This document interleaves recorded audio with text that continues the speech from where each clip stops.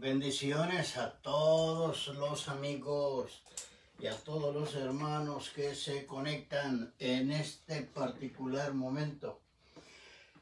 Que el Señor les bendiga. Este es el pastor Héctor A. Muñoz, pastor de la Iglesia Evangélica Pentecostés Palabra de Fe y Amor, fuente de fe, fuente de paz, fuente de prosperidad, fuente de redención. Eh, le estamos dando una cordial y calurosa bienvenida a su devocional del día de hoy. Va a estar muy bueno, va a estar muy interesante, porque vamos a hablar sobre un tema que lleva por nombre Él sí que puede. Él sí que puede. Así es de que eh, antes de entrar en, en tema de estudio, queremos invitarle de una manera muy cordial y muy especial a que nos busque en Facebook. Ahí hay una página pastoral en la cual usted puede encontrar cada particular día una palabra de aliento, una palabra de sanidad, una palabra, una reflexión de la palabra de Dios que le puede ayudar bastante en su día. Es bueno desde muy temprano leer la palabra del Señor como dice una reflexión de la reflexión de hoy. ¿Cómo no amanecer con el gracias Jesús en la boca si en medio de tanto problema, si en medio de tanta pandemia, si en medio de tanta situación difícil la enfermedad no ha llegado a nuestra casa? Es porque Él vive. Amén, aleluya, gloria a Dios y tiene cuidado de sus hijos. Gloria a Dios. También podemos eh, eh, eh, invitarle para que pueda vernos en YouTube. Para entrar a YouTube solo tiene que poner H-A-M-T-X y ahí le sale una serie de videos, los cuales son una herramienta extraordinaria para que usted que no puede o no sabe evangelizar, pero tiene gente a su alrededor, más que todo familia, que usted quiere verlos un día en el reino de los cielos, pues envíeles, hágales un, mándeles el mensajito para que ellos puedan escuchar esta hermosa palabra del Señor. Aleluya. Si quiere escribirnos también estamos en ha muñoz arroba yahoo.com y ahí puede dejarnos una petición de oración y nosotros estamos siempre checando y buscando las peticiones de oración para trasladarlas a nuestro libro de peticiones y poder orar por ellas. Gracias a todos los hermanos que eh, tienen la confianza de dejarnos sus eh, peticiones para poder pedirle al Señor por ellas. Gloria al Señor, aleluya. Bendito sea su nombre. Bien, no habiendo más que anunciar, creo yo, entonces vamos a entrar de lleno al estudio de la palabra. Y qué interesante porque nos encontramos en Efesios capítulo 3, verso 20, con una hermosa doxología que el apóstol Pablo usa al, referirse a esta parte de, eh, el capítulo 3 de, Efesios. Doxología quiere decir eh, buscar las palabras um, uh, de carácter teológico que le dan gloria y le dan alabanza al Señor. Aleluya. Y aquí dice el apóstol Pablo, verso 20, y a aquel que es poderoso para hacer todo mucho más abundantemente de lo que pedimos o entendemos, según el poder que obra en nosotros. Verso 21, y a él sea la gloria en la iglesia y en Cristo Jesús por todas las generaciones, por los siglos de los siglos. Amén. Gracias Señor por tu palabra. Bendícela Padre y te pedimos Señor en una manera especial que tu Espíritu Santo toque Señor a las personas que lo van a escuchar, que no conocen tu nombre, a todos esos amigos, amigos del Evangelio, pero que no han entrado de lleno y aquellos hermanos que tienen un pie adentro y otro pie afuera. Bueno, pues le pedimos al Señor también que el Señor pueda abrir sus mentes y sus corazones, que abra los ojos de su entendimiento para comprender y entender las maravillas de esta hermosa ley, dice la palabra del Señor. Bien, entonces eh, nosotros lo que podemos ah, entender es que nuestro Señor Jesucristo, Él sí sabía lo que era vivir con recursos limitados. Hay gente que hoy por hoy dice que tiene los recursos limitados, pero tiene un carro, tiene una casa, tiene la refrigeradora llena, este, no como quisieran, no el carro que quisieran, ¿no? Del año, pero tienen eh, posibilidades para moverse, para vivir, para vestirse, y, y, aún así dicen que sus recursos están limitados porque no tiene la cuenta bancaria que quisiera tener. Pero Jesús sí supo vivir realmente con recursos limitados. Y también no solamente eso, porque también hubieron otros que venían acallando o, silenciando todo lo que él hacía. A él lo criticaban en todo porque lo estaban persiguiendo para casarlo en alguna palabra, en algo que hiciera para acusarlos, para acusarlo a él en el Sanedrín. Y si no, acuérdese, eh, estuvimos predicando en ello allá en el Evangelio según San Marcos, capítulo 3 y 20, verso 22, encontramos unos escribas ah, que habían venido de Jerusalén, dice, y los escribas que habían descendido de Jerusalén decían, tiene a Belcebú y expulsa a los demonios por el príncipe de los demonios. O sea, imagínense qué sentiría nuestro Señor Jesús en ese momento, siendo el Dios, su parte hombre, su 100% Dios, cuando le estaban atribuyendo a situaciones diabólicas, completamente diabólicas.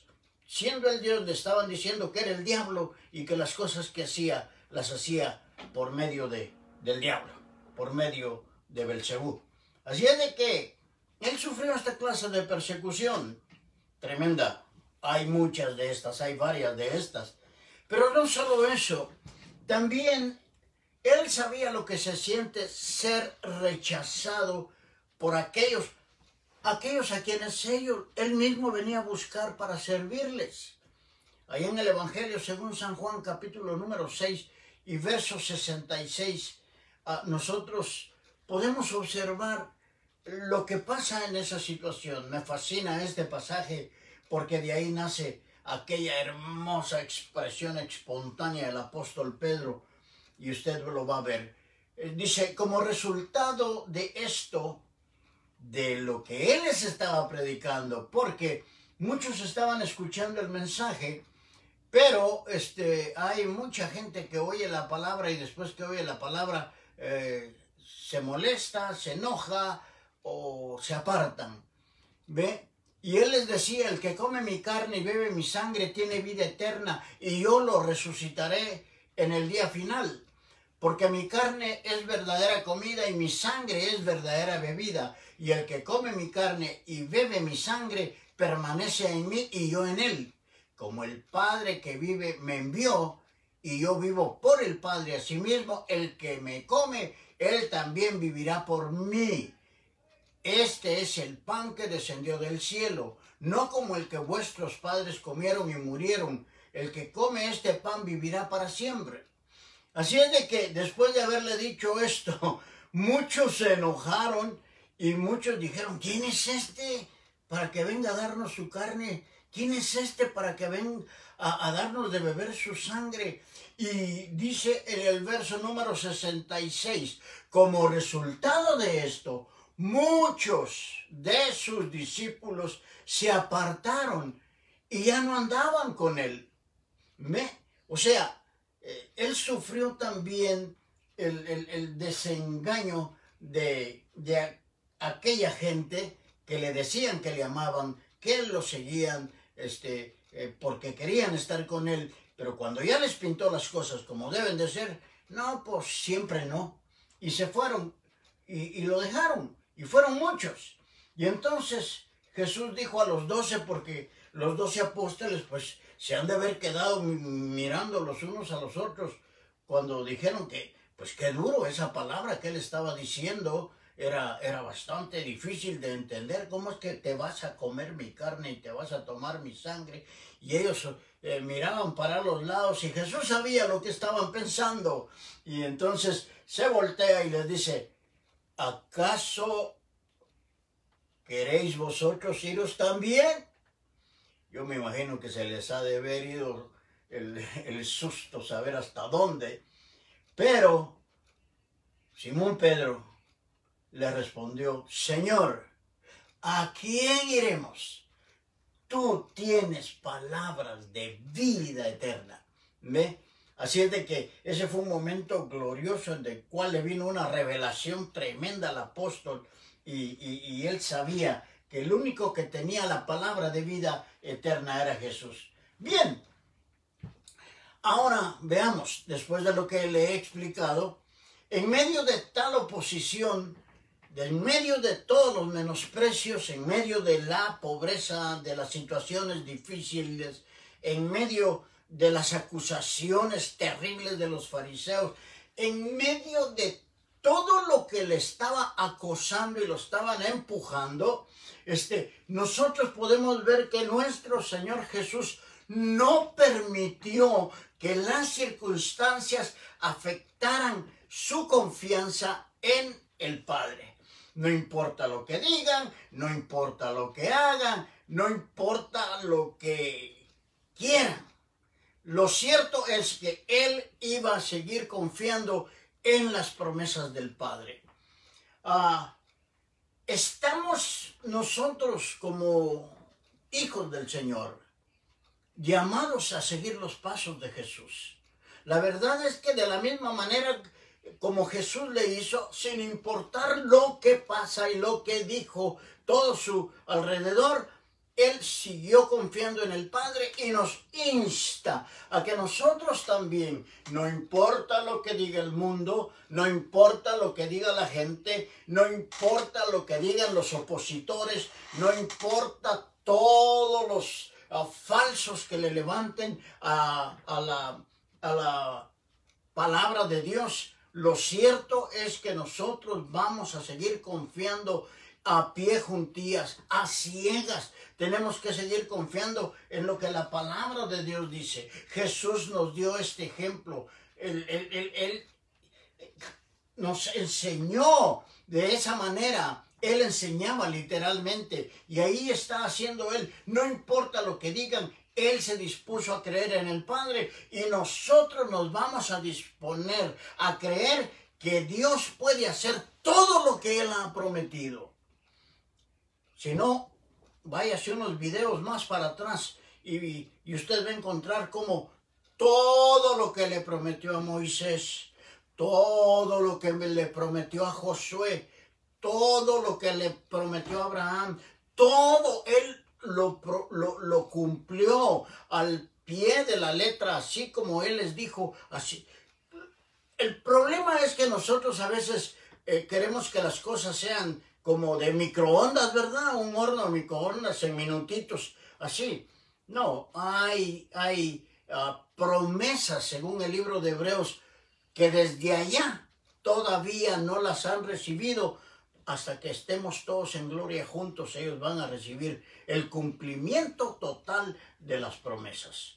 Así es de que eh, simple y sencillamente tenemos que estar ah, listos en todo momento, eh, porque, por ejemplo, oiga bien, en el libro de Hebreos capítulo 7, verso 25, dice, por lo cual Él también es poderoso para salvar para siempre a los que por medio de él se acercan a Dios, puesto que vive perpetuamente para interceder por ellos. ¿No les parece a ustedes esto una gloriosísima promesa? ¿No le parece a usted que Él está sentado, dice, a la diestra del Dios Padre, intercediendo perpetuamente, o sea, para siempre, eh, por, nosotros. ¿Ve? Entonces, esto asegura la salvación para todo aquel que venga con un corazón contrito y humillado y solicite el perdón de sus pecados en el nombre de Jesús. Oh, claro que sí. Esta es una, una tremenda forma asegurada por la cual el Señor te está prometiendo una salvación y te está prometiendo mantenerte orando por ti, intercediendo por ti ante el Padre. ¡Qué tremendo! Su muerte en la cruz en realidad satisfizo las demandas de la justicia divina por todos nuestros pecados. Dios el Padre eterno quedó completamente satisfecho con ese sacrificio glorioso y ahora nosotros somos justificados por la fe en Cristo Jesús y tenemos paz para con Dios. Aleluya. Bendito sea su nombre. Así es de que Dios perdona a todo aquel que tenga fe genuina. Aquel que en realidad quiere dejar el mundo de pecado, el mundo de perdición, el mundo genuino, el, perdón, el mundo maligno. Si tiene fe genuina en el Hijo de Dios, hará a cada uno de estas personas que vengan una nueva creación. Eh, quiero que, que, que, comprendas esto. No importa, fíjate bien lo que te estoy diciendo. Él puede hacernos una nueva creación, porque dice la escritura, de modo que si alguno está en Cristo, nueva criatura es. Las cosas viejas pasaron, he aquí, son hechas nuevas. Gloria al Señor. Oh, qué importante es saber esto, qué interesante. Porque no importa cuál fue tu problema o cuál es tu problema actualmente, no importa qué tan negro, tan oscuro y tan, bueno, voy a decirlo, qué tan cochinos sean tus pecados pasados, no importa, quiero que sepas que si quieres cambiar de vida, si quieres cambiar este, tu manera de pensar, tu mente, si quieres cambiar tu manera de sentir, si quieres cambiar tus malos hábitos, si quieres dejar ese cúmulo de pecados que te están agobiando porque los tienes encima, simple y sencillamente quieres ser una nueva criatura, todo lo que tienes que hacer es venir a Cristo Jesús.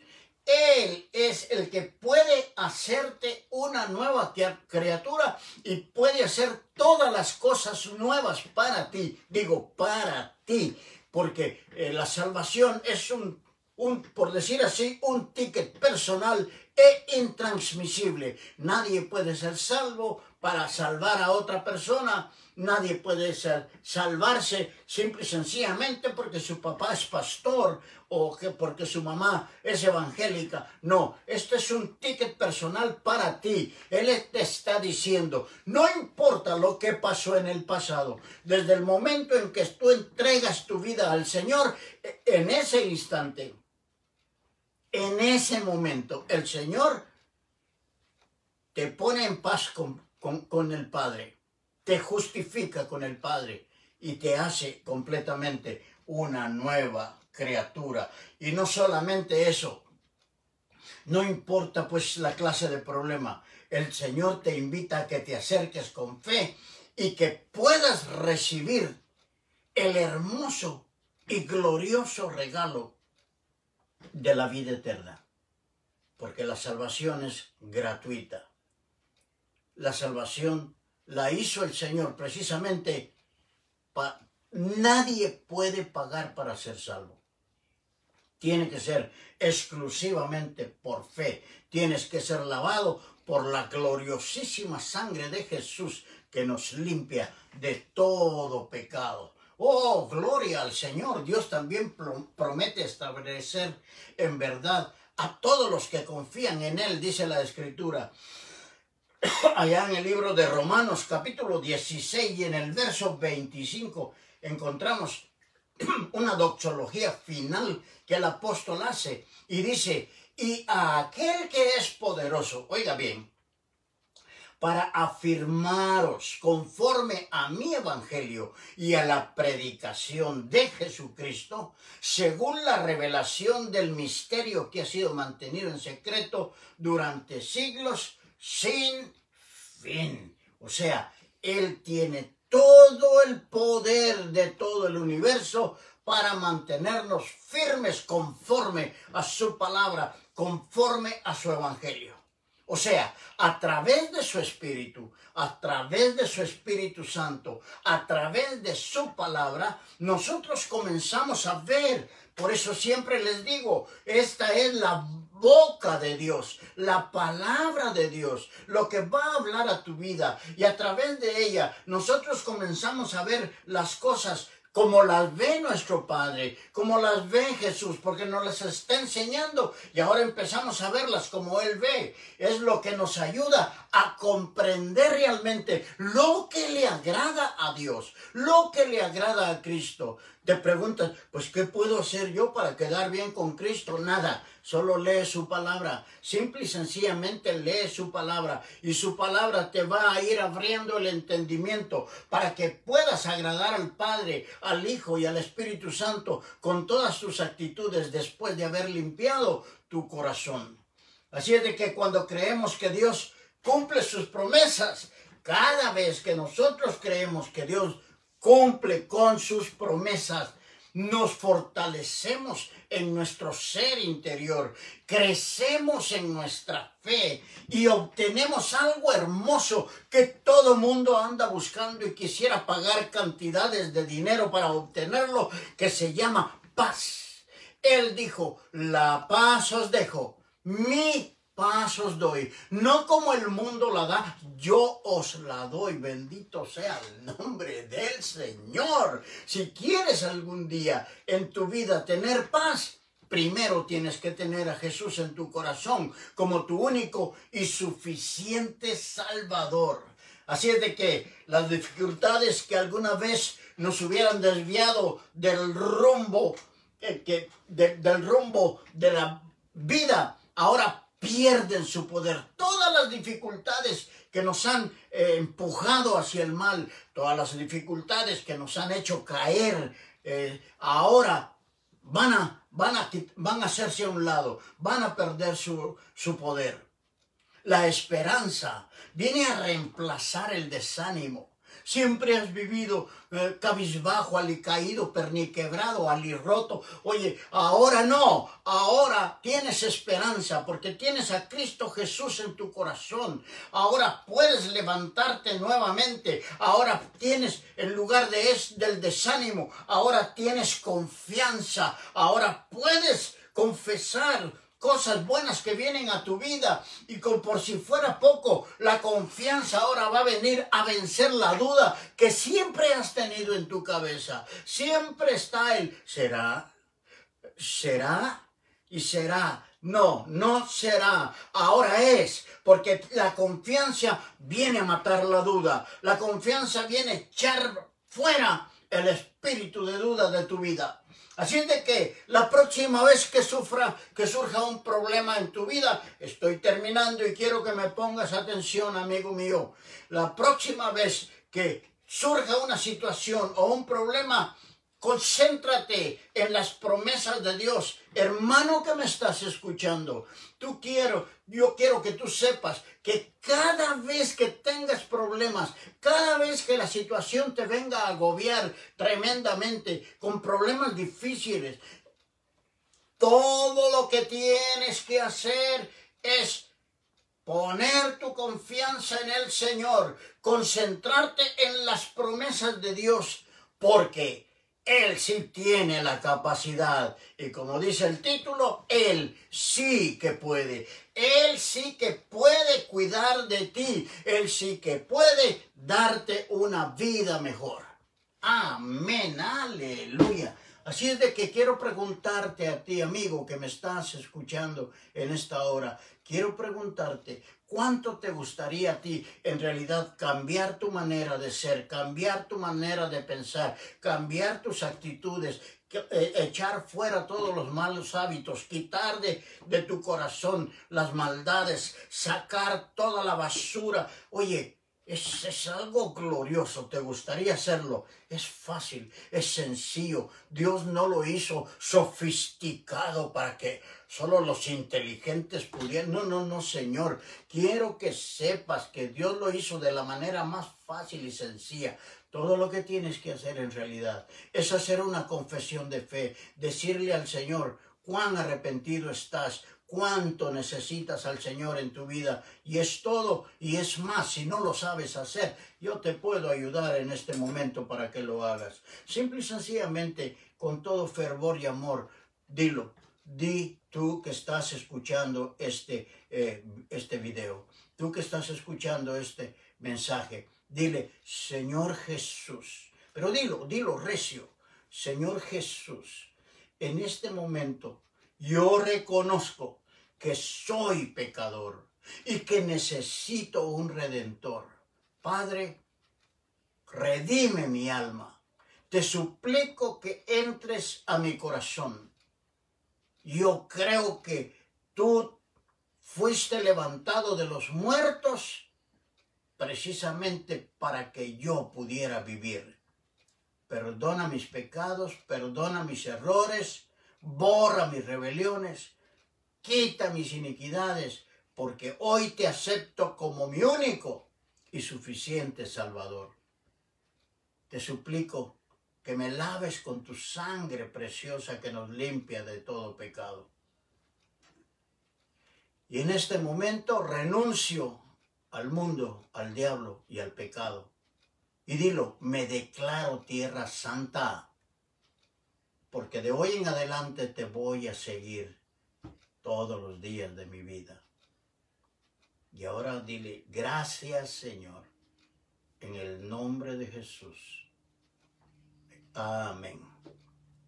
Bien, si hiciste esta oración, quiero que sepas, en tan solo segundos estamos hablando de un Dios que todo lo puede te ha sacado de la negrura y la tiniebla del pecado, donde estabas atado con coyundas, con cadenas y con grillos de pecado. El Señor ha quebrado todas tus cadenas y te ha libertado y te ha sacado del fondo cenagoso y oscuro. Te ha justificado para pasarte a la luz admirable de su evangelio. Si lo crees, gloria al Señor, qué bueno por ti. Si no lo crees, I'm so sorry. Lo siento bastante por ti, porque no existe nadie, ni nadie, ni nada que te pueda sacar de la negrura del pecado más que solo Cristo. Porque no hay otro nombre dado a los hombres debajo del cielo en el cual puedan ser salvos, sino en el nombre de Jesús. Nadie viene al Padre si no es por mí, dijo el Señor. Él es la llave, Él es la puerta. Así es de que, si no viene el Señor pronto, si no viene en la noche, todavía tienes un poquito de tiempo. Nadie es dueño del segundo minuto de su vida. Pero es bueno que vayan a una iglesia evangélica donde les puedan explicar correctamente la palabra del Señor y que se las puedan enseñar sistemáticamente porque esta es la boca de Dios. Si tú quieres saber y quieres pensar como Dios piensa, simplemente lee la palabra del Señor y ponle atención a la voz del Espíritu Santo.